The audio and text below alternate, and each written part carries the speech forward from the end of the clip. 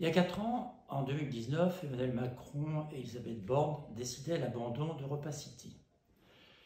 Quatre ans après, où en sommes-nous? C'est précisément l'objet de la réunion à laquelle je vous invite. Rayon public, salle Jacques Brel, le 29 novembre, c'est-à-dire la semaine prochaine, à 19h.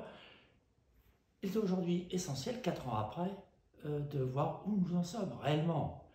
Il a fallu encore se battre pour le métro, il y a près de deux ans, l'ancien Premier ministre Jean Castex est venu nous confirmer que le métro, cette fois-ci, c'était définitif. Vous le voyez, le chantier avance bien, mais euh, il y a le projet autour d'ailleurs du métro, et c'est de cela dont on va parler. Je vous attends nombreux, saint Jacques Brel, mercredi 29 novembre à 19h.